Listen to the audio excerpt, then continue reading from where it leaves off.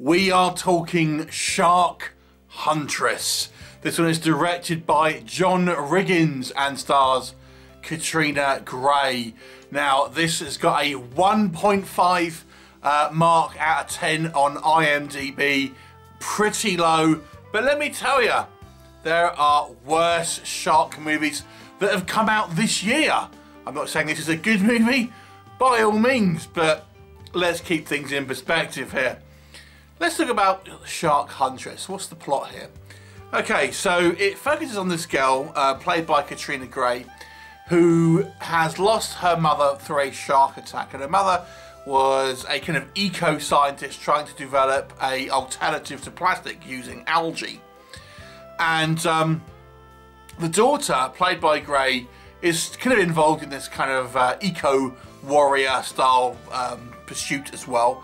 So her and a group of friends decide to go off to this kind of uh, kind of paradise type location where her mother apparently worked in secret in a lab.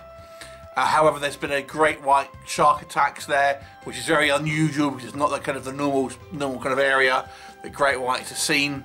And obviously, the kind of the uh, the body count starts to rise. There may be human bad guys involved. It might even be big business who are the real bad guys here. What'll happen? You'll have to watch the movie and find out. So let's discuss Shark Huntress. Okay, don't get the wrong impression. This is not a good movie. And in fact, it's a bad movie. But I will say this does have a couple of things in its favour. Certainly above some other kind of shark movies that have come out in the last year or so. So what can I say on the positive column on this one?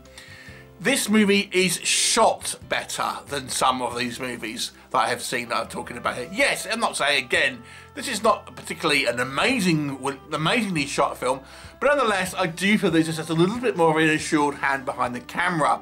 There's a good use of different types of, of shots, you know, wide shots, aerial shots, close-ups, for example, and they're framed and kind of shot quite well. So on a technical side, I do think this is somewhat more proficiently made than the movies, things like uh, Virus Shark or Apex Predators, also low budget kind of schlocky shark fare. So yeah, it's it's kind of a little bit more of a uh, sheen to it in regards to its shooting. Uh, I gotta say, so I think location shooting here is a lot better. We do actually seem to have a quite nice location that looks kind of like, uh, you know, quite a, a, kind of tropical kind of backdrop to it, which does kind of give it a uh, a bit more of a, you know, a, a feel that this is, there, the, people in this movie are somewhat kind of more, um, in an area where it's, it's, less kind of populated, so to speak, and therefore may well have, uh, you know, more likely to come across trouble, for example.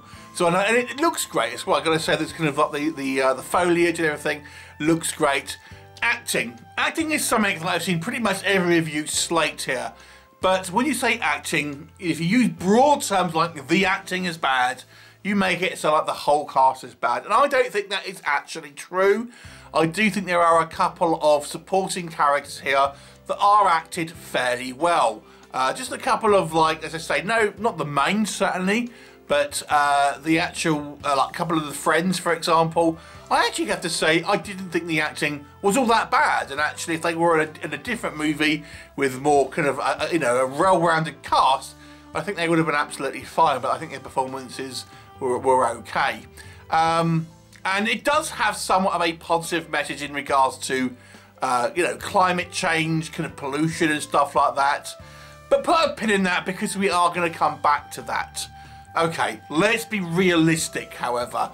This is not a good movie, and I'm going to tell you why I think that is the case. Despite that, I think this movie does have a couple of qualities to it. For the most part, it is a low budget, typical, silly shark film where we barely of see the shark and the plot is filled up with time wasting scenes. Okay, so let's kind of delve into it a little bit more detail. So let me just come back to a couple of things that I talked about previously. The acting, first of all.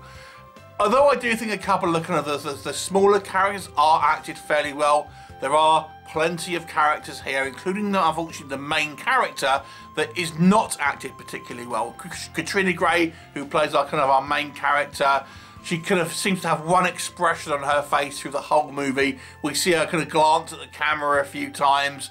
And to be honest with you, uh, she's a Slovakian uh, actress, and there's there's sequences where she's like talking to herself in English and stuff. I'm thinking, well, why won't you speak in Slovakian? Surely that's kind of like your native tongue and things like this. And you know, there's there's sequences here that are just like um, not particularly kind of well acted. Uh, it's not the worst acting you've ever seen, but it's not brilliant. And there are also other characters here. For example, there's kind of like there's like a scientist guy, terrible actor. Um, that's kind of like kind of guy with a huge like Father Christmas beard. Not brilliant, you know. Uh, so yeah, so there's, there's there's some kind of choppy acting through the movie. So that's that covered off.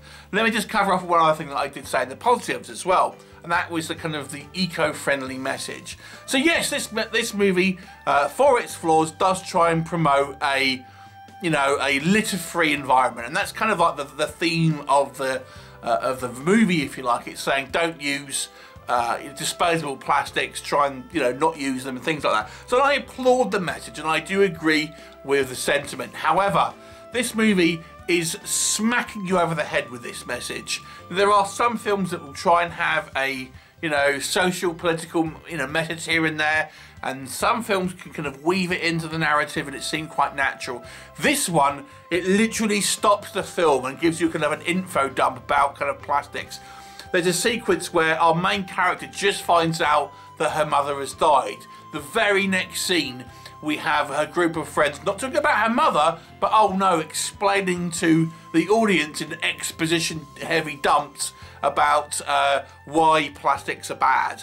In a, in, a, in a kind of like using terminology if they're all involved in the kind of the process they should know all of this but they're kind of talking about it as if you know ultimately to us as the audience who might not know anything about it can understand what they're talking about. Like i said i appreciate the message and i applaud the kind of like the positive uh, uh, you know, effect that this is trying to have. But as a narrative, as, a, as part of a film, it fails badly, and it does it a few times as well. Um, now, I mentioned how well this movie is shot, and I, I don't mean it's like a fantastically shot. You know, we're not talking, uh, you know, blockbuster level of, of, of, of kind of um, camera work here. But the camera work is fine, but what isn't fine is the editing. The editing here is awful. Um, just awful. In the sharks, the shark attack sequences are are quite poor and we're going to come on to the shark in a minute. But nonetheless, they're edited horribly with very kind of quick cuts of just kind of splashing water, a dodgy fin, things like this. There's no real ton of tension building up here. Um, the shark attacks are quite poor. But also there's just random kind of edits in the movie. There's a sequence, for example, our main character and our kind of boyfriend are like walking on the beach and it's kind of, it looks like it's in the morning, it's quite light out. And then there's just a random clip of this other girl walking with a guy in the dark. And then it kind of goes back to um, our main character on the same kind of stretch of beach uh, in the light. So thinking, what the hell? You know, what the hell? What the hell is this editing all about? So there's some piss poor uh, post-production here. Um, the shark itself, like I've said, you never really kind of see it. It's just a fin. The shark attacks are filmed in a way where they obviously don't have the budget to really make a shark.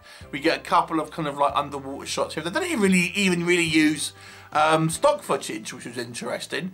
But they they I, I, get it. You can't really afford to have a, a whole shark and stuff, but you can kind of like have a bit of a build up. But I'm not saying you have to rip off Jaws doing the kind of the POV shots and things like this. But unfortunately, the kind of the shark attacks here are filmed in a way where there's no real sense of, of, of dread. I mean, for me, the, the terror of a shark is if you're in the water, you know, you just don't know where it's going to be and things like that, and where it can kind of come up from, and, and then you do sort of see it coming towards you, and it's kind of you get it's too late to do anything about it. There's no real sense of that here. It's just kind of like very kind of quick edits of like ah, and then you know a fin and that's it basically. So the, the, the shark attacks are quite poor. And then this leads me to the next problem. Is this the, the problem here is that the movie really is is just about people talking in rooms, mainly talking about climate change and kind of plastics and things like that. And again, I'm not saying that the message is bad here, but it's not really what you want to watch when, you, when you're buying a movie called Shark Huntress. You know, it's, you, you want to see a, a, woman hunting sharks, kind of coming into conflict of sharks. And the funny thing here is, obviously, these are meant to be environmentalists, but they're they're literally proactively going out to kind of attack a kind of a shark and things like this, um, which they do address, to be fair to them. But you know, uh, again, it's just a little bit of a silly message, and we we have this you know typical kind of like human bad guy plot that's always the case of in these kind of low budget movies because they can't afford to have a movie based on a you know an, an effects heavy kind of antagonist like an actual kind of shark and things like that. Um, and the movie takes a hell of a lot, long time to get going. You know, it's over halfway through the movie before we really try, really get the this kind of our group of uh, our friends trying to uh, you know, get involved in the main kind of plot. It's a hell of a lot of kind of setup, and we have very kind of like long, kind of pointless scenes, for example, of this our, protagonist kind of learning to dive in a kind of a swimming pool, while two guys putting up a radio antenna and things like this. There's things here that just didn't need to be in there that are clearly there to kind of like pad out a running time for a very kind of like uh, weak ass kind of story ultimately.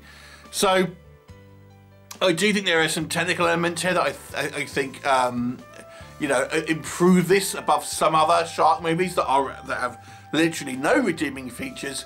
But this is not a good movie. In fact, it is a bad movie. Uh, it's just not bottom of the barrel, I would say. But it's certainly no better than the 3 out of 10. And that's what I can give this movie, a 3 out of 10.